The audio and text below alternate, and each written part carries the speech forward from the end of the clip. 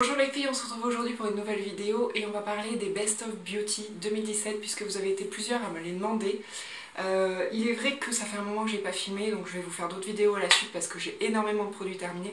Mais je vais vous parler de mes découvertes de l'année 2017 en termes de maquillage notamment. Pourquoi je vais pas forcément vous faire celle euh, en termes de soins tout simplement parce que je vous parle régulièrement de soins quand je fais mes empties etc. Par contre le maquillage ça fait un moment que je vous en ai pas parlé, que je vous ai pas parlé de mes découvertes donc je pense que je vais faire ça. J'espère que la luminosité ça ira, je pense que je vais être très blanche à la caméra mais aujourd'hui il fait un temps exécrable. Donc on verra bien. Euh, en tout cas, je vous parle donc de mes découvertes par catégorie. Euh, toutes les catégories ne sont pas représentées parce que je n'ai pas eu de coup de cœur sur tout. Et puis vous verrez qu'il y a certaines choses que je n'utilise pas. Mais on va commencer tout de suite pour par la partie teint. Alors ça fait un moment finalement que je n'utilise plus de fond de teint parce que je trouvais ça hyper couvrant que j'ai pas forcément énormément de choses à, cacher, voilà, je, voulais quelque chose qui unifiait plutôt. Donc l'été je mets beaucoup de poudre directement sur ma crème et l'hiver en fait j'ai découvert la bébé crème, les crèmes teintées parce que ça faisait longtemps que ça existe mais personnellement je n'avais jamais testé. J'ai commencé par celle de Honest Beauty que j'adore. Euh, si je dois faire une aparté c'est que j'ai découvert en 2017 la marque Honest Beauty, je vous en reparlerai. Mais celle qui est le plus facile à trouver, le meilleur rapport qualité-prix pour moi, c'est la marque 100%, pure, 100 pure pardon, et c'est la bébé crème euh, SPF 15 et moi je l'ai en teinte 20 puisque ça existe en 10, 20 et 30. 100% pur, c'est une marque dont je vais beaucoup vous parler parce que c'est un gros gros crush de 2017 pour simplement le rapport qualité-prix. Les compositions sont quasiment toutes euh, excellentes et le prix est très peu cher par rapport à la qualité.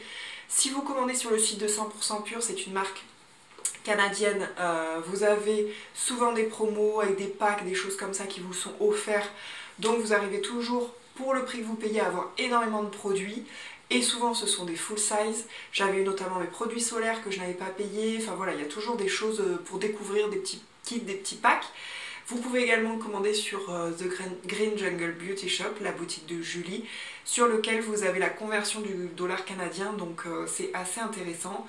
Cette bébé crème, je l'aime beaucoup parce qu'elle fait le job. Euh, elle est donc légèrement teintée. Il existe donc trois couleurs, 10 pour les très clairs et 30 pour les peaux plutôt foncées, mais attention, c'est pas des peaux mates. Là, moi, je suis en teinte 20 l'hiver, donc voilà. Je pense que l'été, moi, je serai en teinte 30. Et vraiment, les peaux porcelaines doivent être en teinte 10.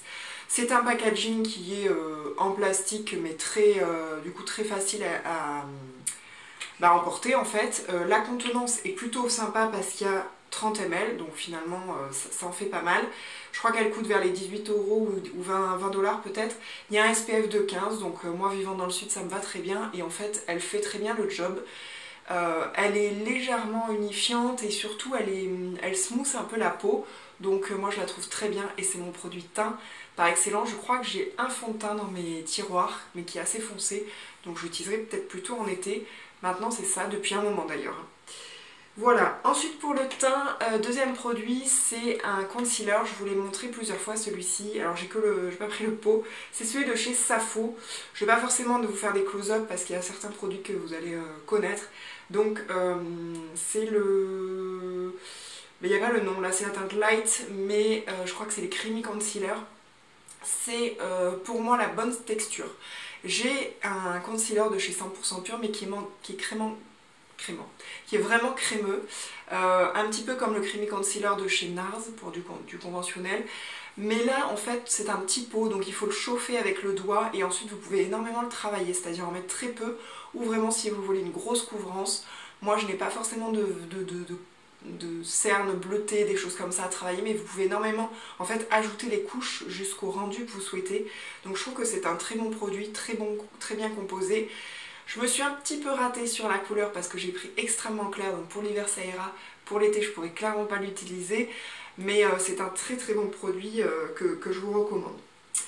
Ensuite, si on continue un petit peu la, routine, euh, chez 100% pur, je vous recommande, et ça a été un gros coup de cœur, la poudre libre, donc 100%, euh, la poudre matifiante au bambou, donc qui est une poudre blanche totalement translucide avec un tamis, qui ressemble énormément en fait à la Make Up Forever par exemple, mais qui est assez fine et qui, euh, voilà, qui est naturelle, vegan, cruelty free, et donc c'est que du silice de, bambou.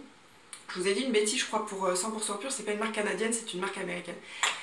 Voilà, donc je l'aime beaucoup. Je l'utilise pas tous les jours parce que la crème matifiante, moi j'en mets vraiment que l'été, puisque l'hiver j'ai une peau qui s'assèche un petit peu du fait de sa mixité. Mais, euh, mais voilà, très bon rapport qualité-prix, pareil. Il y a un bon contenant. C'est clairement le dupe euh, en green de, voilà, de la Make Up Forever ou de la By Terry qui était très bien aussi. Au niveau euh, blush, j'ai deux découvertes cette année. Déjà, j'ai la découverte des blush crème. Donc ça, c'en est un de chez Honest Beauty, c'est le Truly Daring. Je vais pas forcément vous le présenter, euh, c'est celui que j'ai aujourd'hui parce que euh, Honest Beauty, c'est clairement ma marque préférée de 2017, mais qu'on ne trouve pas en France, qu'on ne trouve qu'aux États-Unis, même dans d'autres pays, ça n'existe pas. C'est très compliqué de l'avoir. C'est, en termes de rapport qualité-prix, un peu meilleur au niveau qualité que 100% pur, mais au niveau prix c'est légèrement plus cher, donc voilà. Euh, ceci étant, jusqu'à présent j'étais anti euh, produit crème, j'avais énormément peur de ce côté gras, et en fait le green m'a réconcilié avec ce côté crème qui en fait ne laisse pas de gras et qui pénètre dans la peau et qui en fait ne bouge plus. Euh, je trouvais qu'en conventionnel, voilà, il y avait souvent du gras qui ressortait, un côté un peu luisant. En green, beaucoup moins. Donc euh, les, les blush crème, bah, c'est une découverte parce que je n'en avais jamais eu. J'ai tenté, j'ai bien aimé. Euh, j'en ai un autre de chez Rituel de Fille euh, qui est très joli, c'est le Love Stick. Mais Rituel de Fille, c'est ma déception de l'année. alors, je m'entends bien sûr, c'est moi qui n'ai pas assez cherché. J'ai commandé ça et j'ai aussi eu un, un fard crème pour les yeux qui est très beau, les produits sont très beaux, encore que le blush je trouve pas assez pigmenté parce que moi j'aime bien quand il y a de la pigmentation. Mes rituels de filles, ça contient du phénoxyéthanol, ouais je crois que c'est ça la, substance qui est, euh, qui, à l'intérieur. C'est un conservateur mais qui est, euh, est d'origine synthétique et au vu du prix du produit, je trouve dommage qu'il y ait ce genre de produit à l'intérieur. Donc moi je ne souhaite plus utiliser de produits qui contiennent ce genre d'ingrédients. Donc voilà, c'est euh, la, petite, euh, la petite déception, mais ce sont des bons produits. Si pour vous, ça n'est pas un frein, ce sont des produits de très bonne qualité. Mais euh, moi, c'est voilà, je suis passée dans le green pour des raisons, enfin ces raisons-là, parce que je veux éviter ces perturbateurs endocriniens. Et ce sont des produits qui coûtent un petit peu plus cher que le conventionnel, mais qui ont une composition voilà, sur laquelle moi je trouve qu'elle est un petit peu, elle fait un petit peu volémique, donc je ne souhaite plus le faire. Après, c'est un choix. Toujours dans la partie blush, il y en a un que j'adore de cette palette là qui est de la 100%, la marque 100% pure. C'est la Pretty Naked 2. Euh, c'est une palette que j'adore pour les voyages. Tout simplement, je vais vous montrer pourquoi.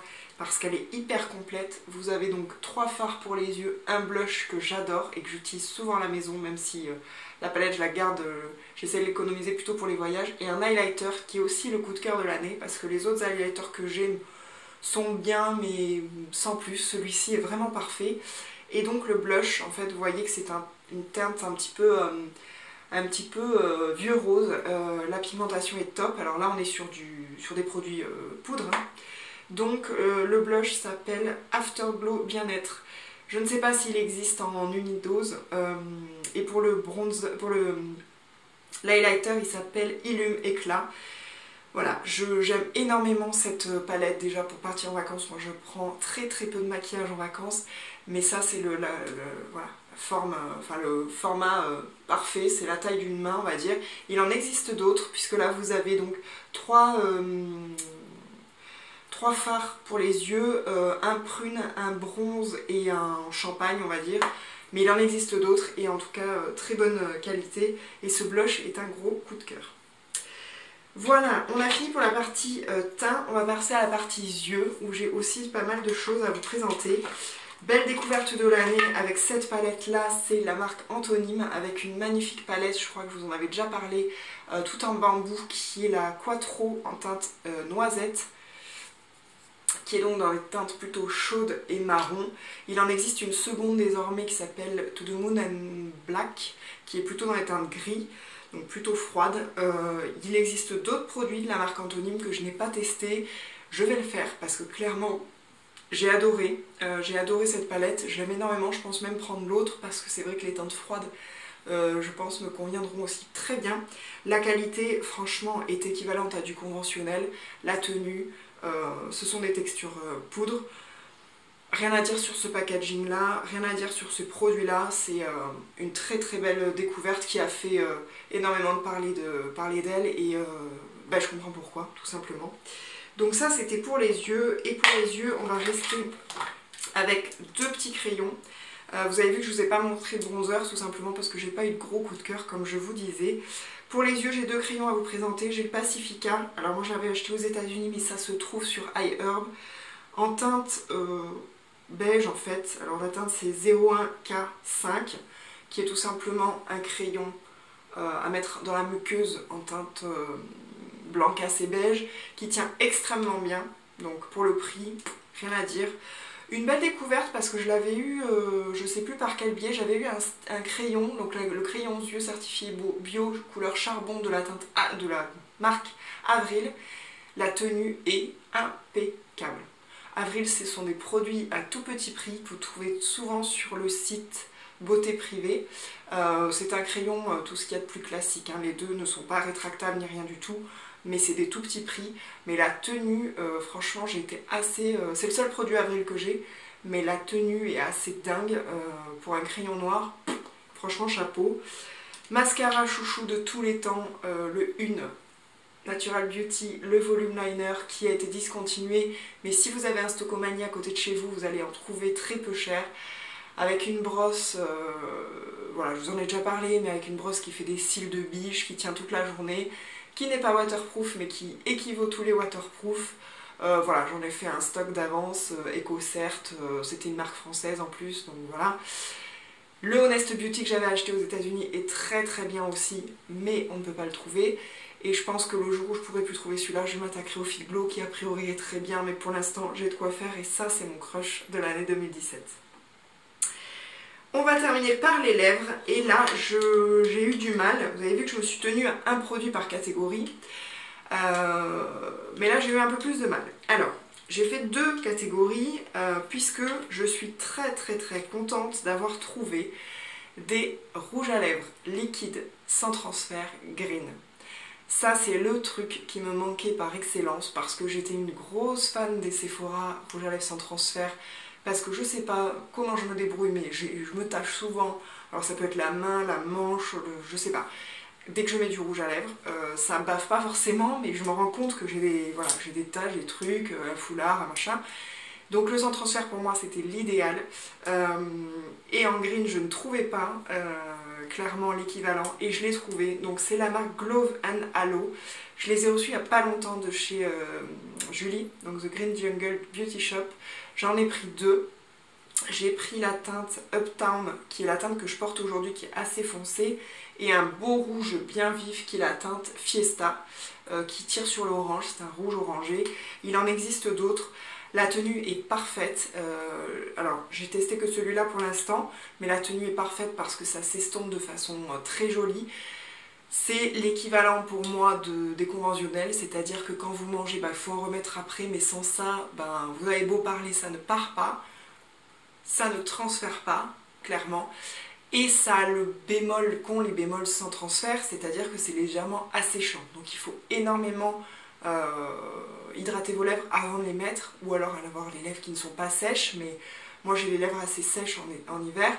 Mais, euh, mais, voilà, je suis, ça c'est ma grosse découverte et mon gros gros crush, et je pense que j'en achèterai d'autres. Dans une autre catégorie qui sont les rouges à lèvres classiques, là j'ai eu du mal à les partager, donc j'en ai pris deux qui se valent énormément parce qu'il y en a un qui est très difficile à trouver. C'est la marque Bite Beauty que moi j'avais découvert aux états unis avec les amuse-bouches qui sont des lipsticks. Alors là ce sont des miniatures parce que j'avais pris des, j'avais pris des coffrets euh, découvertes où il y en avait deux, donc j'en ai pris deux. Voilà, j'en ai quatre comme ça petits. Tenue superbe, composition au top, euh, petit prix, euh, hydratant, Enfin parfait, rien à dire, sauf que ça ne se trouve que chez Sephora US. Donc vous pouvez commander si vous le voulez, mais il faudra le faire venir via euh, un système, etc. Ou si vous avez quelqu'un qui va aux états unis demander des produits lèvres de chez Bite Beauty. Il y a d'autres hein, références, il y a des rouges à lèvres liquides, etc. De façon plus facile à trouver, euh, mon crush de l'année ça a été la marque Kosas avec celui-ci par exemple qui est, la, qui est Trilest, qui est pareil, un rouge très orangé, qui est extrêmement confortable. Tenue excellente, rien à dire. Hydratant, enfin en tout cas pour moi, hydratant comme il faut. Bon rapport qualité-prix, j'aime beaucoup le packaging aussi, très belle teinte. Voilà, donc j'ai eu du mal à départager sur cela, mais c'est vrai que j'ai pas mal de produits que j'ai ramenés des États-Unis, dont je vous parle souvent, que j'aime énormément, mais que je ne pourrais pas retrouver, et je pense que vous aussi vous aurez du mal. Voilà, c'était mes Best of Beauty 2017, je vous dis à bientôt pour une prochaine vidéo. Bye bye